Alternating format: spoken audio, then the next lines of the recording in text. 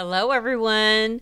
We are on week six of our National Quilter Circle free quilt along. This is a mystery quilt.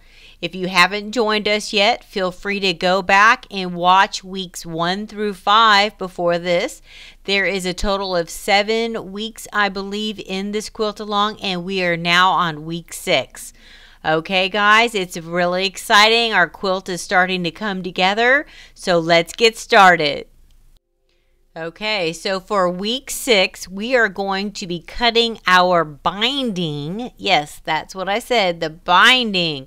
We're going to be cutting our two and a half inch strips with the fabric, nine of them.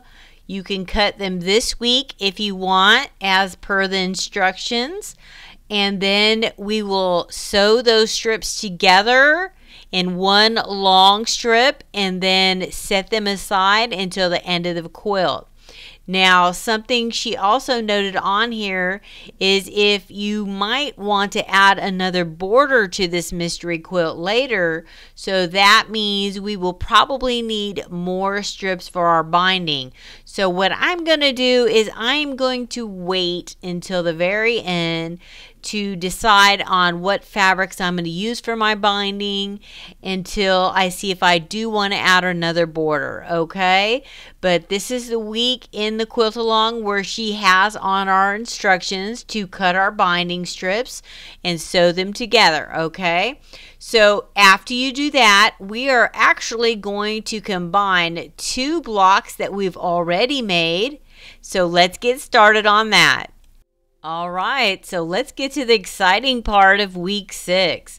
Here is where we are going to take those hourglass blocks with the sashing on the sides that we made in week two.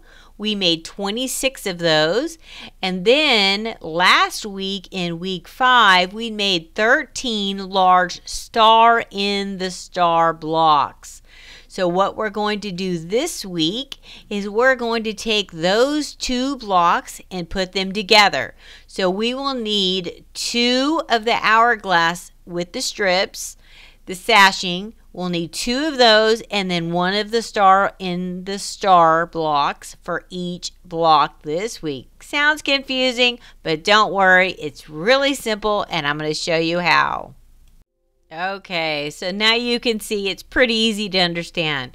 So we'll take two of those hourglass blocks with the sashing on the top and the bottom, and we will sew them to the sides of one of our star in the star block this week. So let's get started. Let's go to that sewing machine and get it done.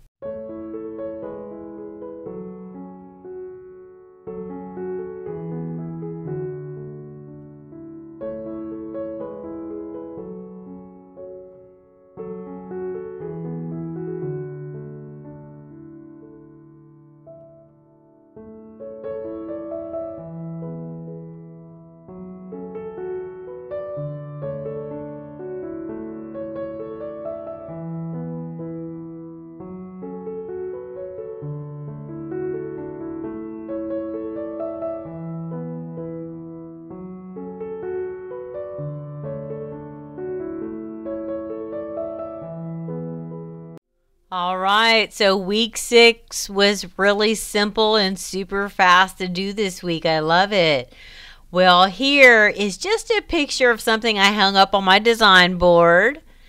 Okay, so what I did is I took this week's block and I thought, hmm, let's see, is it going to go together like this maybe next week? This is just something I have in the back of my head. Not saying this is how the quilt's going to look. Remember, this is a mystery quilt. None of us know how it looks except for the designer. So let's see if I'm right next week, all right? Now remember, if this looks like something fun and maybe something you want to make, you can always go to the National Quilter Circles website and follow the link I have posted here and it should take you straight to each week's instructions for each block, okay? And if you have any questions, you can go back and watch all the videos I made for each week, all right? Now just remember that this quilt only requires two fabrics, our background fabric and our contrasting fabric, okay? So it's really simple. You don't need a lot of different fabrics. Now in that background fabric, she does have the binding included and I think she said it was three quarters of a yard. So if you want to do your binding a different fabric than your background, feel free to do that. I may do that. Sometimes I like to do my binding to match my backing. That way it all kind of blends together. But to each their own, there are no rules, remember. Okay, so if you do want to make this quilt, it'll be a 90 by 90, she said.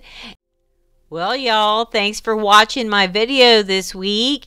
And I can't wait to see what we're going to do next week in our quilt along. So I'll see you then. Bye bye. Like and subscribe to Grandma's channel. Like and subscribe to Grandma's channel.